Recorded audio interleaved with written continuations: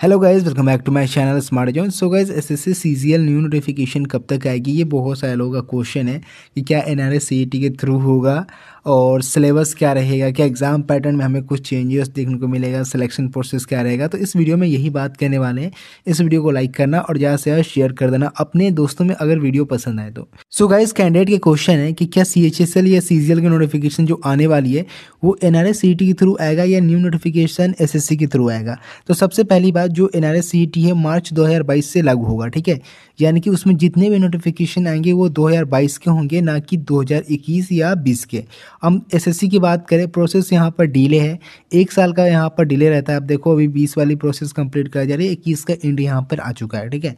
तो ऐसे अगर हम देखें तो 2021 की जो नोटिफिकेशन है, वो एसएससी के थ्रू ही आएगा। एसएससी का जो यहाँ पर पैटर्न है सिलेक्शन प्रोसेस है, उसी के थ्रू होगा, ठीक है?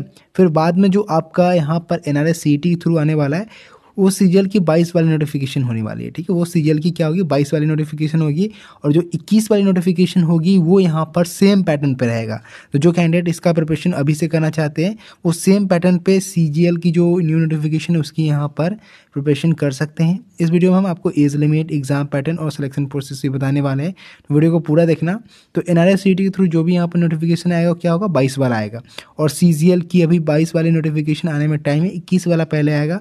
फिर सी एच एस एल की भी इक्कीस वाली पहले आएगी, ठीक है? तो उसके हिसाब से सी जी एल या सी एच एस एल या आपका S S C C P O सारे नोटिफिकेशन जो होंगे सी एस एस सी के, वो अभी यहाँ पर सेम पैटर्न पे होंगे और जो N R S C T के थ्रू होगा, वो बाईस वाली नोटिफिकेशन होगी, ठीक है? तो ये चीज़ क्लियर रखना।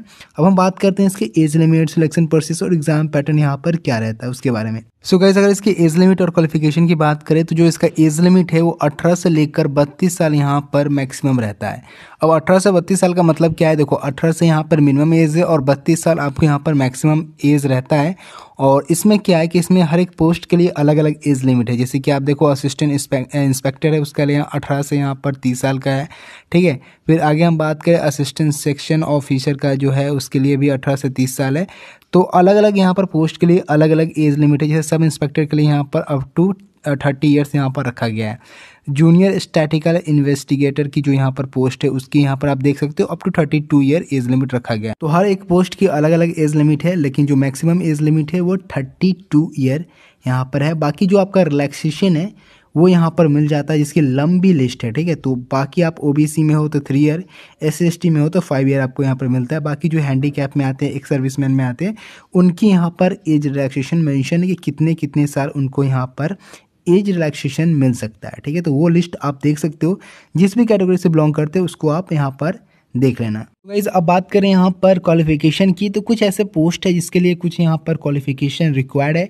बाकी सभी पोस्ट के लिए, जितने भी अदर पोस्ट है, ठीक है, यहाँ पर ये कुछ ऐसे पोस्ट है जिसके लिए इंपॉर्टेंट कुछ स्पेसिफिक आपका क्वालिफिकेशन रिक्वायर्ड है, ठीक है। बाकी सभी पोस्ट के लिए ग्रेजुएशन अगर आपने कर रखा है किसी भी इंस्टीट्यूट से तो आप फॉर्म को फिल कर सकते हो। अगर हम बात करें कौन कौन से ऐसे पोस्ट है जिसके लिए यहाँ पर कुछ इंपॉर्टेंट क्वालिफिकेशन रिक्वायर्ड है तो जैसे कि आपका इन्वेस्टिगेटर की जो पोस्ट है ग्रेड बी की, उसके लिए आपकी जो यहाँ पर क्वालिफिकेशन क्वालिफिकेशन रिक्वायर्ड आप देख सकते हो। बैचलर्स डिग्री आपका होना चाहिए। मिनिमम सिक्सटी परसेंट आपके मार्क्स होने चाहिए मैथमेटिकल से क्लास टेंथ में, ठीक है? तभी आप यहाँ पर इस फॉर्म को भर सकते हो इस पोस्ट के लिए, ठीक है? इस पोस्ट के लिए आप इस फॉर्म को तभी भर पाओगे जब आपके पास ये क्वालिफिकेशन होगा, ठीक है? तो ये यहाँ पर एक चीज़ है। जो कि मेंशन करा गया है। असिस्टेंट ऑडिट ऑफिसर के लिए आपके यहाँ पर क्या चाहिए? बैचलर्स डिग्री होनी चाहिए। किसी भी सब्जेक्ट में यहाँ पर आपका बैचलर्स डिग्री होना चाहिए तो आप यहाँ पर फॉर्म को भर सकते हो। नेक्स्ट आप देख सकते हो कंपाइलर की जो पोस्ट है, उसके लिए यहाँ पर बैचलर्स डिग्री होना चाहिए। एंड साथ ही साथ यहाँ पर कुछ और भी चीज़ मेंशन किया गया। Candidate must have studied either economics statics mathematic as compulsory और एज एन इलेक्टिव सब्जेक्ट ठीक है? तो ये यहाँ पर इसके लिए कंपलसरी रखा गया है जो आपका कंपाइलर है उसके लिए।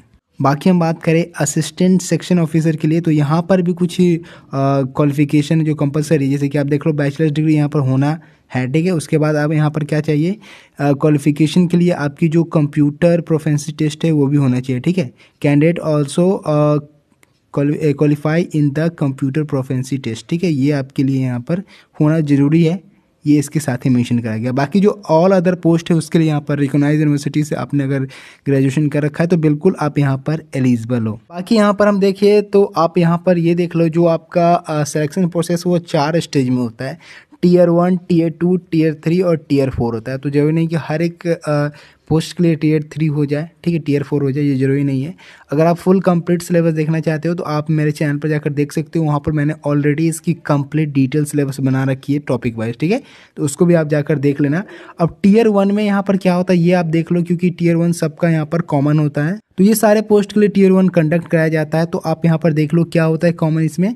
जो सब्जेक्ट होते हैं, वो यही सारे रहते हैं, चार subject reasoning general awareness quant और इंग्लिश ठीक है? यहाँ पर टोटल सौ क्वेश्चन रहेंगे, दो मार्क्स के। और साठ मिनट आपको यहाँ पर टाइम दिया जाएगा, जिसमें आपको यहाँ पर टोटल सौ क्वेश्चन करने हैं। सारे क्वेश्चन दो दो नंबर के यहाँ पे रहते हैं गाइज़ आप सभी के लिए। वही सेम आपका सिलेक्शन प्रोसेस रहेगा जो आपका सीजीएल में रहता है और नोटिफिकेशन जो आएगी दो हज़ार इक्कीस वाली तो बिल्कुल आपके एसएससी के पैटर्न पर ही आना है क्योंकि 2022 से आपका लागू हो रहा है तो बाईस वाले जितनी वैकेंसी होगा वो एन आर के थ्रू यहाँ पर रिलीज़ करा जाएगा।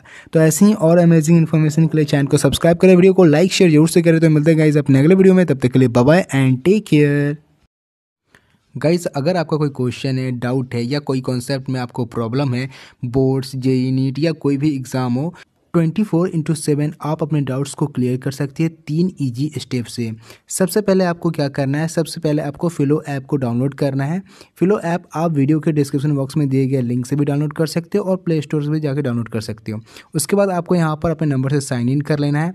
फिर आपका जो क्वेश्चन है, उसका फ़ोटो लेना है और फ़ोटो लेने के बाद आपको उस पर अपलोड कर देना है। आप वहाँ पर अपलोड करेंगे क्वेश्चन का फ़ोटो साठ सेकेंड के अंदर इंडिया के बेस्ट एजुकेटर के साथ आपको कनेक्ट किया जाएगा और आपके क्वेश्चन क्वेश्चन को लाइव यहाँ पर सॉल्व किया जाएगा। गाइज़ आज ही डाउनलोड करें फिलो ऐप। वीडियो के डिस्क्रिप्शन बॉक्स में